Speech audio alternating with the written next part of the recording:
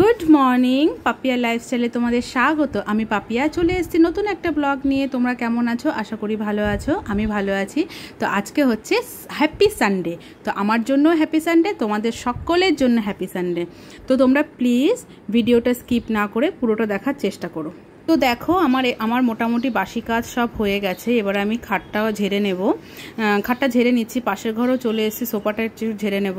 কি বলো তো মেয়ে চলে গেছে ড্রয়িং ক্লাসে হাজব্যান্ড চলে গেছে অফিসে এদিকে আমি পেঁয়াজ কাটছি, রান্না হাফ হয়েছে হাফ বাকি আছে।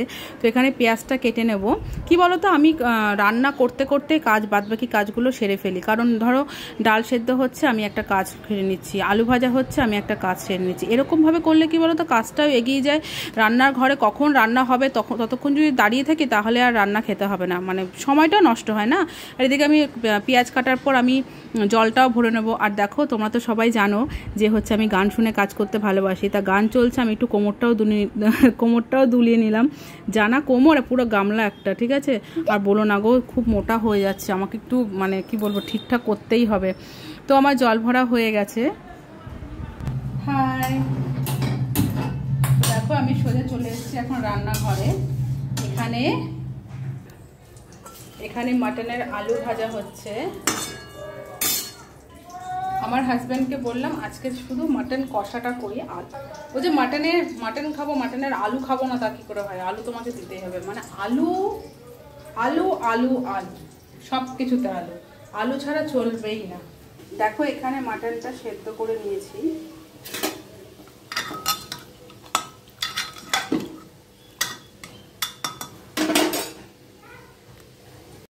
দেখো, আবার কিছুটা রান্না করার পর আবার আমি চলে এসেছি কিছুটা কাজ করতে। সে যাই হোক, চলো তোমরা ভিডিওটা দেখতে থাকো।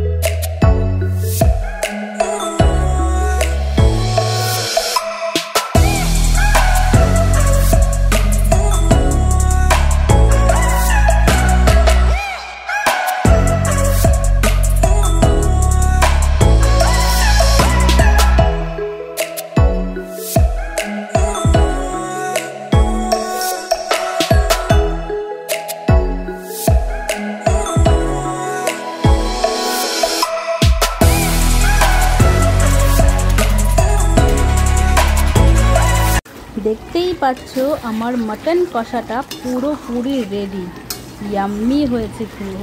ইয়াম্মি ইয়াম্মি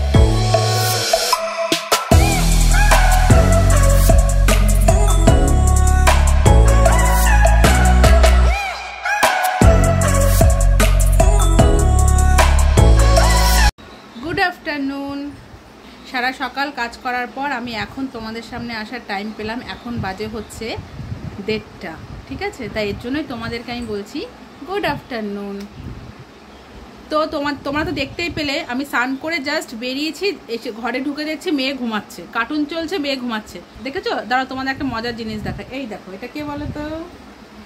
অ্যাক্টিং করছিল। ভেবেছে মা যেই ঘরে আসবে, আমি ঘুমানোর নাটক করব। ও মা যে আমি এই ঘরে চলে এসেছি পুজো দেওয়ার জন্য আমার পেছন পেছন চলে এসেছে আমি যে কি তোর ঘুম হয়ে গেল? বলে, আমি অ্যাক্টিং করছিলাম তোমাকে। সারপ্রাইজ দিলাম। দেখো, এটা বলে সারপ্রাইজ সে যাই হোক, তোমার তো আজকে সকাল থেকে অনেক ব্যস্ত ছিলাম। এই জন্য তোমাদের সামনে আসতে পারিনি। তো তোমাদের একটা জিনিস দেখাচ্ছি। কালকে আমরা পরশু দিন বাজারে গেছিলাম, বাজার থেকে একটা জিনিস এনেছি। তাই ভাবছি, আমরা সব কিছু নতুন নতুন, সব পুজোর আগে সব কিছু করছি। তো ঠাকুরের কিছু করব না? বলো, ঠাকুরেরও তো একটু শাস্তি ইচ্ছে করে। তাই দেখো তাই দেখো, ঠাকুরের সিংহাসনটা আমি কি সুন্দর সাজিয়েছি। যদি এখনও পুজো দেওয়া হয়নি, ঠাকুরের সিংহাসনটা দেখো কি সুন্দর সাজিয়েছি, তারা তোমাদের দেখায়। কেমন লাগছে গো? কেমন লাগছে? তোমরা প্লিজ আমাকে জানাবে হ্যাঁ? কেমন লাগছে? এই মালাটা কিনেছি, আর এই যে নিচে যে অরেঞ্জ কালারের কাপড়টা দেখতে পাচ্ছ, ওটা কিনেছি। ওটা কিনেছি, একটা দুটো রুমাল কিনেছি ঠাকুরের জন্য। তা যাই হোক, আমার তো খুব, এমনভাবে সাজিয়েছে, আমার খুব ভালো লাগছে। তো চলো, আমি তখনও পুজো দিই না, এই পুজোটা দিয়ে তারপর তোমাদের সাথে পরে দেখা হচ্ছে। আর পুজো দিয়ে উঠে তারপর তোমাদের দেখাচ্ছি যে আজকের আমাদের লাঞ্চ মেনু কি, ঠিক আছে?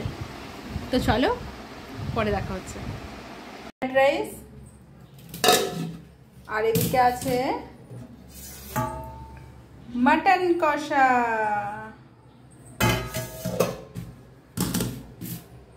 তো আজকে আমাদের লাঞ্চ জমে ক্ষীর। একটু পরে মেয়েকে খাওয়াবো। তারপর। তো চলো, তোমার সাথে সন্ধেবেলা দেখা হচ্ছে।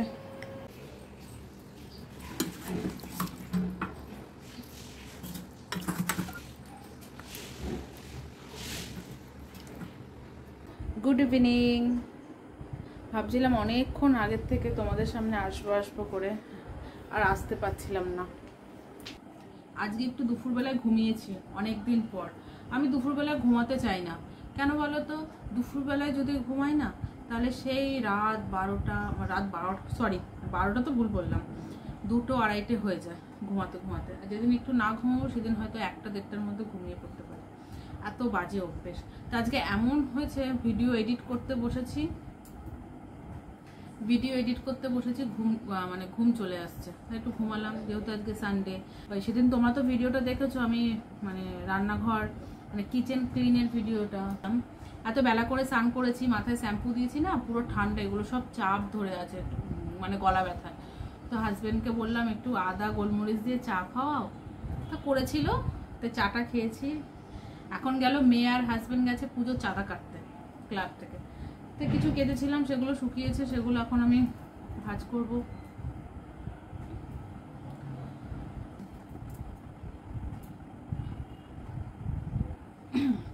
দুপুরে খাওয়াটা হেভি হয়েছিল। আর মাটন কষাটা আর মাটন কষাটা তো কিছু আর বলার নেই। আমাদের আর কি বলব? তো চল আমি এগুলো ভাজ করিনি ঠিক আছে? মেয়েকে বললাম একটু পড়তে বস? মেয়ে বলে আজকে সানডে আজকে ছুটি। তার আমার হাজব্যান্ডকে বলে দে চল চালা কাট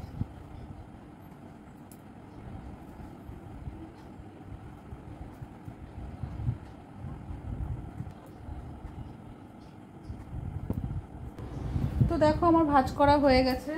এগুলো আমি জায়গার জিনিস জায়গায় রেখে দেবো। এ দেখো, এগুলো এখনও শোকায়